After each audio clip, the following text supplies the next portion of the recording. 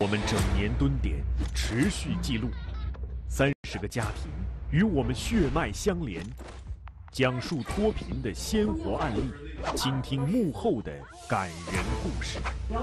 我的攻坚日记，揭开不为人知的真实经历。大家好，欢迎收看《我的攻坚日记》，我是主持人姬晨。上一期我们通过导演的视角重新认识了《罗霄深处有心事》这个系列的主人公张瑞珍。那么他的脱贫事业又是怎么一步步实施的呢？镜头背后还有哪些精彩的故事呢？今天我们继续邀请节目导演白杨一起来分享。白杨你好，主持人好，嗯，大家好。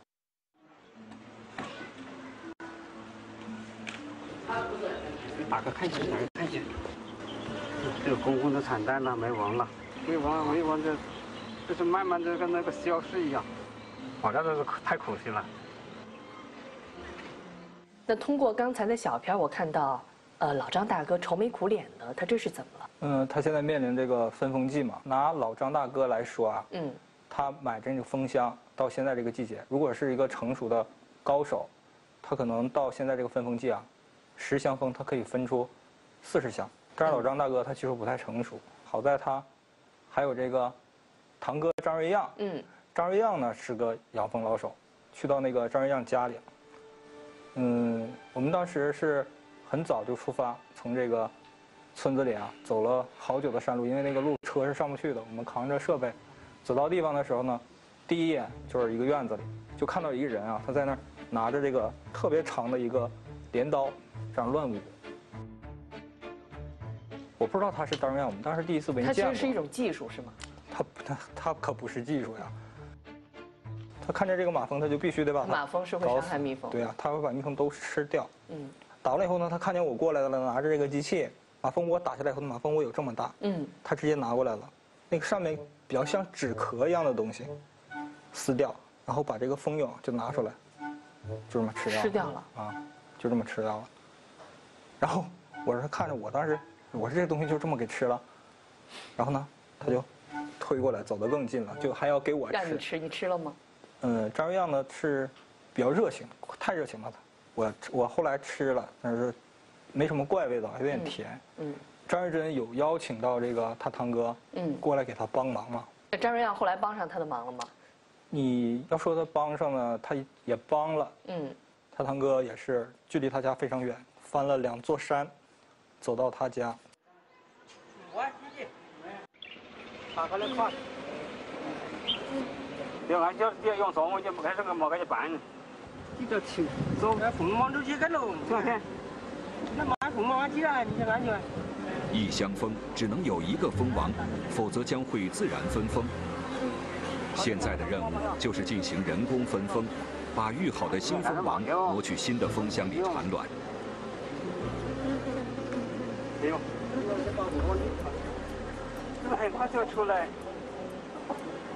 他刚开始呢，其实你看起来技术确实不错，反正比张瑞珍要强太多了。嗯，起码他是有条理的，他知道我这箱蜂我应该去放在那儿，然后我应该拿这张皮过去，他知道这些东西了。分箱最重要的一步，就是要把找到的新蜂王关进球王笼里。喂，你我不吃的吗？有。我给你的，蜂王啊！你还给我？粗心的哥俩一不留神弄丢了蜂王，蜂王遗失，整箱蜜蜂有可能来寻找蜂王。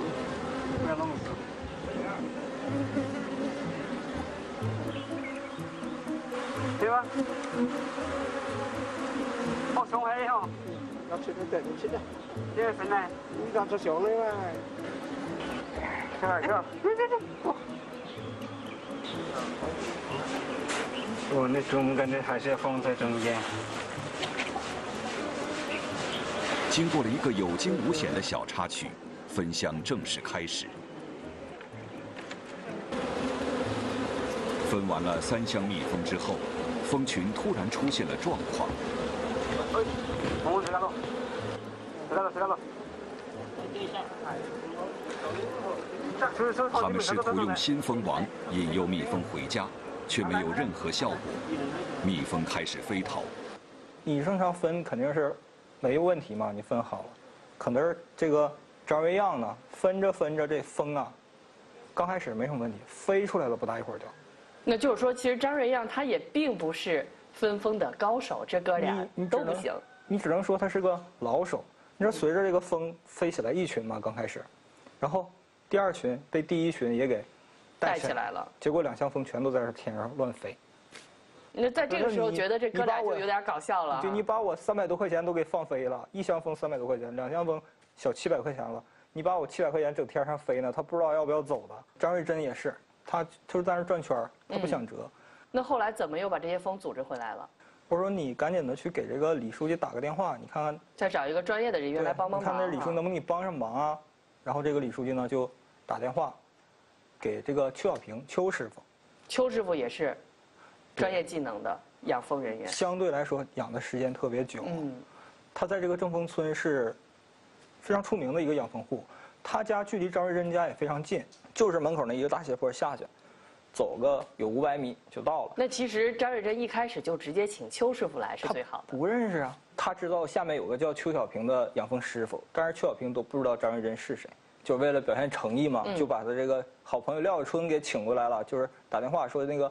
廖说：“你帮我把那个邱师傅给接上来，就这么一段坡的路。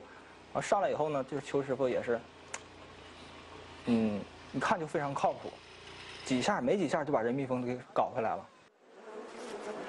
把那个牛奶我全部给他搞掉了，他就不会分了。他那个蜂王还是一起在里面掺拢的。但是我们就问他怎么回事，什么原因呢？嗯，他不说。他为什么不说？特别有意思啊，他觉得这个东西啊，是我。”生活的技能，靠这个东西挣钱。就说这个邱师傅他是个养蜂高手，他有技能。对。他只能是我帮你把这个事情做了，但是你不要来刨根问底的问我你不要问我怎么做的。然后呢，就是开始讲我在其他乡给人看蜂，看一次我要几百块钱呢。就是要报价，他想要钱的那个时候。现在这一般这一边到林都交界地方，他们叫我去就一两百块钱，一两百块钱。他他他就现在那一箱子跑不会跑出来吗？我这他一口酒我就可以抵嘛，管他一百两百也可以。邱师傅一看这个张瑞珍你不接话呀？对呀。你不给我钱，你给我喝酒也行啊。嗯，吃饭。张瑞珍实在是不理他，那廖小春带我回去。一扭头就走了。这么说来，我们可能还觉得张二珍好像这个不太、不太懂得人情世故一样。太抠了吧，你这样。对。好多次，只要面临面临到这种付钱的场面，张二珍都有一个习惯，就是先掏兜就是我有钱。找钱，先掏兜找钱。我有钱，然后找不着，我就发现每次他都掏，怎么掏不出来钱？嗯。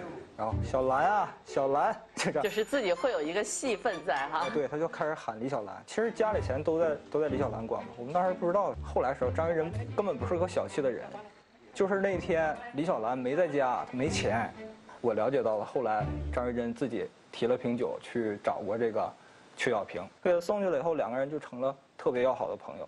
他们在他们两家之间有一个小超市，嗯，两个人偶尔就会在这个超市里面碰到，就买上那么一瓶酒。也不要也不要下酒菜，就直接喝了，聊聊养蜜蜂，嗯然后喝喝酒，喝完了就挺开心的。他往那边走，他往那边走，两个人就回家了，就变成知己了。哎，变成知己了，他们两个还。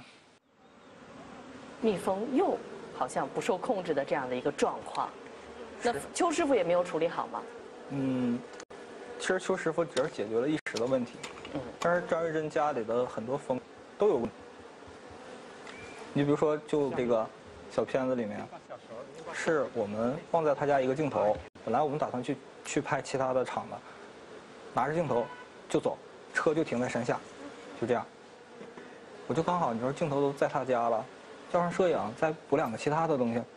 刚走到他家门前的那个平台的时候，我就看到这蜜蜂彻底全飞起来了。你看到他在那儿刨土啊，然后上下跑啊，他也没办法，慌了，特别慌。我跟摄影让沟通一下，我说你你在这拍着，我去给他请救兵去。我就跑，我这电话在他们村里是没有信号的。摄影呢以为就上来拍俩镜头，他没拿电话，因为跑太急了。那个坡只要你跑起来，你是停不下来的。那天绑的鞋带还松，就鞋就跑飞了。到了山下，赶紧打电话给这个李南阳，就又要找李书记。对，还是要找李书记。嗯，那这个问题最后是怎么解决的？又请来了技能更高的人吗？嗯，因为当时呢，正丰村在就是推广这个养蜂产业的发展。嗯，李南阳请来了就是附近特别有名的一个师傅叫战先奇，他养了三百多箱蜂，他是个真正的高手。刚好是在村里开会呢，就这么一会儿，电话就打给李书记了。嗯李书记，这不是刚好吗？拉着战先奇就跑到张瑞珍家了。周立军，这个战师傅来了。周立军，战师傅来了，战师傅来了。把它拿掉去。这个不用走机上，你放你身上。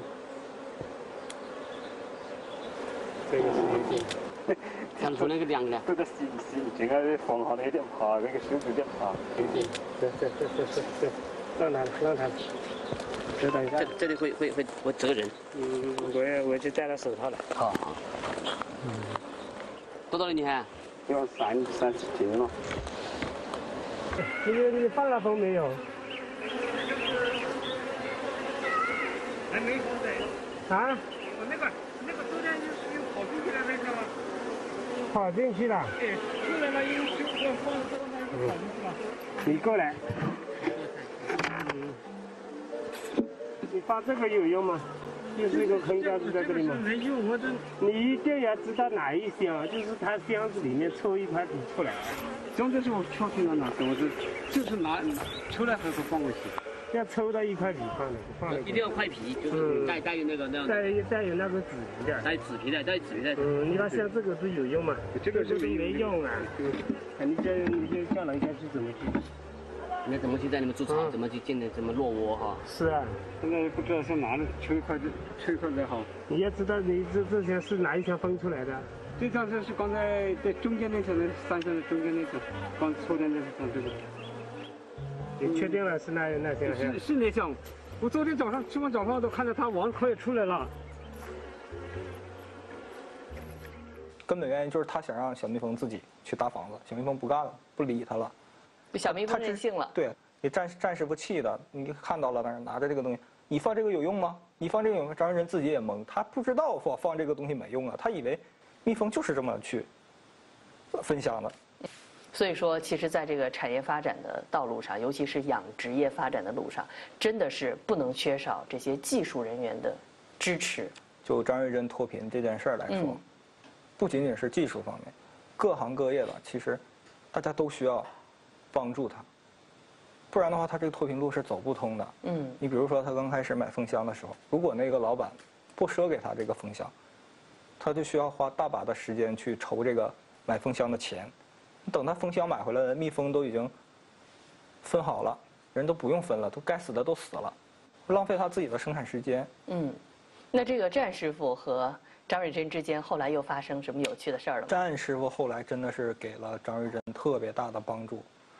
当时战师傅已经在这个村子里想要去扩建蜂场了，加上咱们去拍摄，当地的这个扶贫企业呢也希望添把火加把劲，帮帮他们。你这产出来了，只要合格，我全给你收掉，我把你销路问题解决了。战师傅呢，他本身是一个特别有能力的养蜂户嘛，企业就和他对接了，就是你负责把控这个技，把控这个质量品质。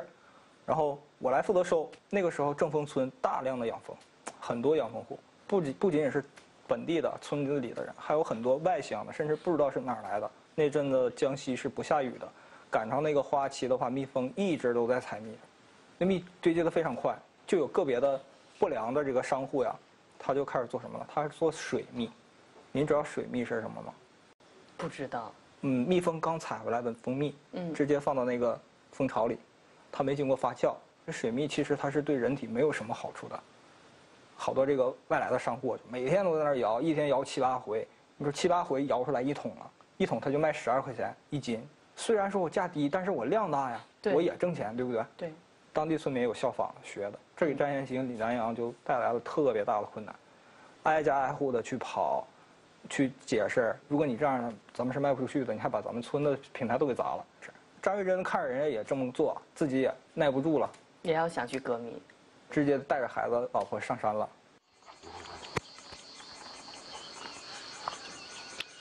我去。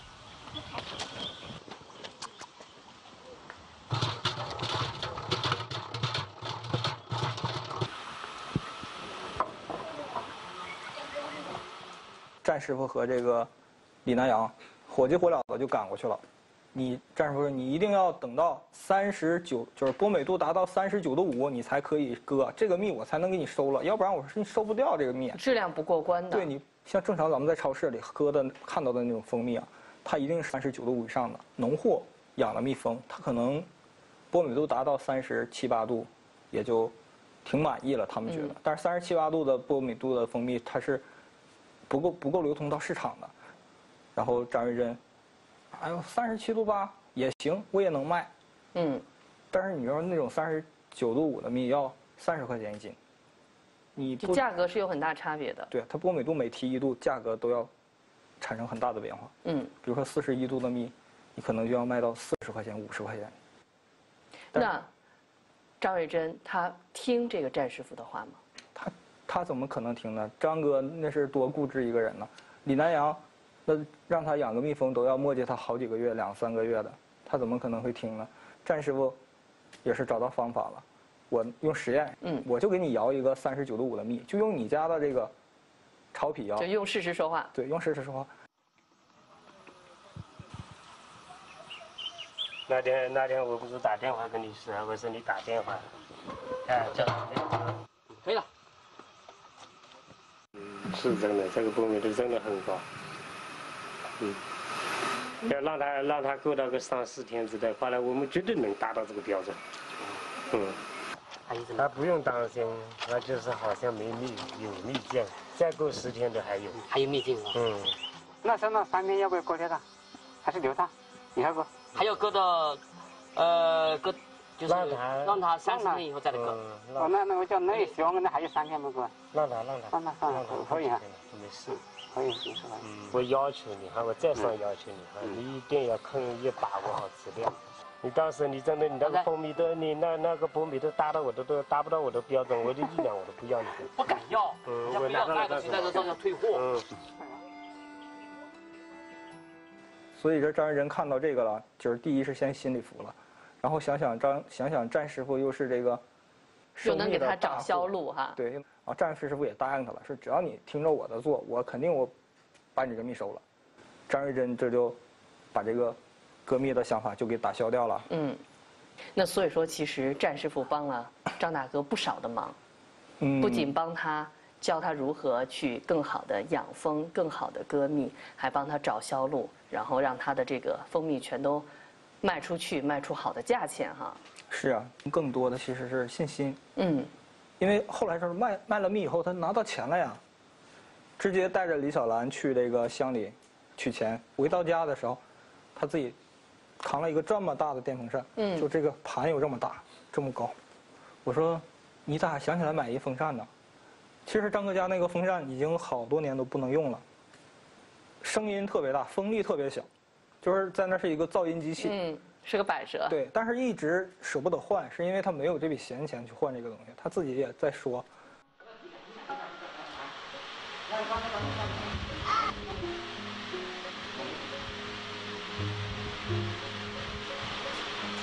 买的这个油脂我也没问他。你你问他姐？以前的反正很熟的，我我都没问他，我就拿个。最大的风袋，这个收的干一点，说地上地上地上地上干嘛？然后关了关了关了关。看见？以前以前以前我想买，哎呀，今天我刚好去了，买。以前我们以前没有。啊，挣多少钱？可多钱了，可多钱没什么钱了。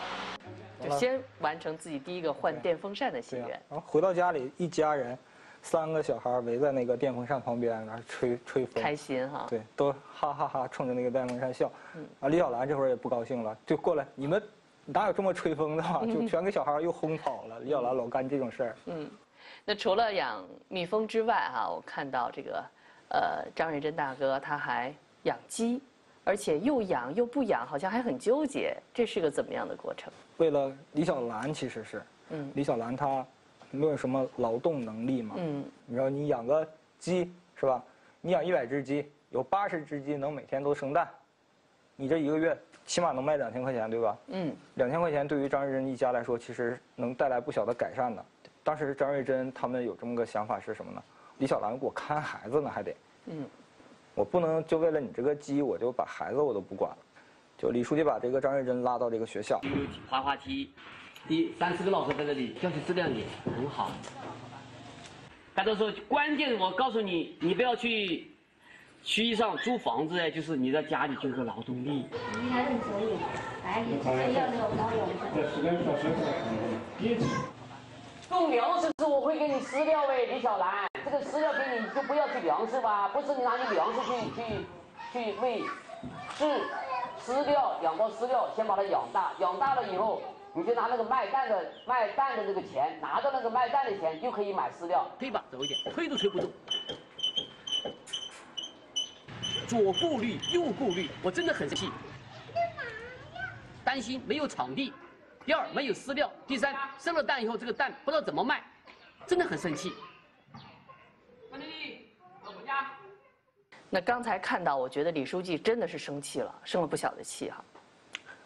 那李书记气坏了，嗯，酝酿了好几个月，最后张瑞仁找了各种借口。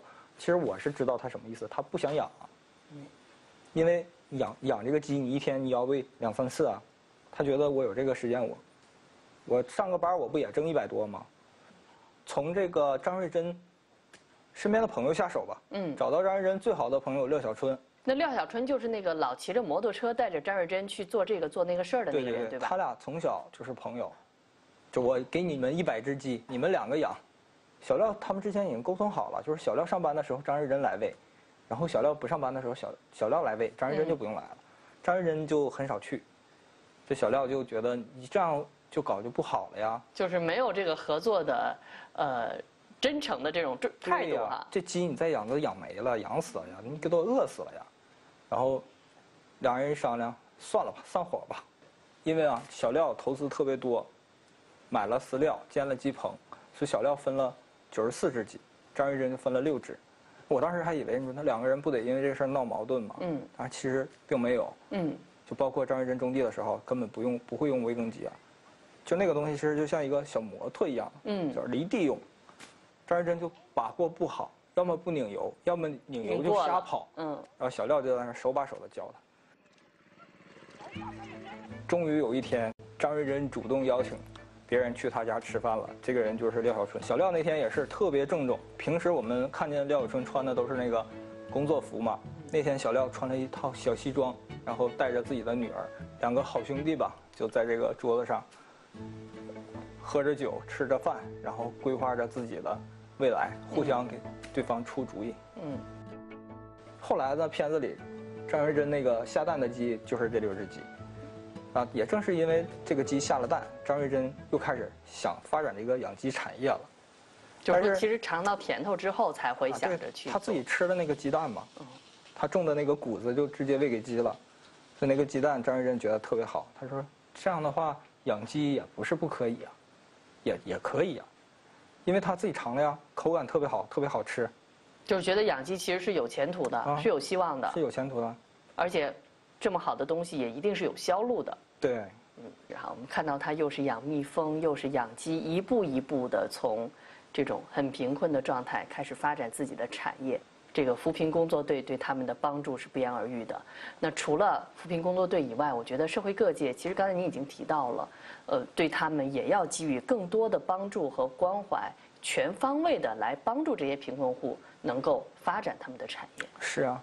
现在这个正丰村啊，就和以前已经大不一样了。嗯，在这个甜蜜的产业上，也是越走越高，越走越好。之前是一个蜂场去参选，现在是三个蜂场遍布正丰村，遍地开花。在扶贫干部跟村民的努力下，正丰村由内而外的发生了改变，为迎接乡村振兴做足了准备。我们真是想象不到啊，原来还有那么多的人给张瑞珍提供了帮助和支持。那么，对于张瑞珍脱贫起到决定性作用的第一书记李南阳，他又有哪些不曾在荧幕前展现的幕后故事呢？我的攻坚日记，明天再见。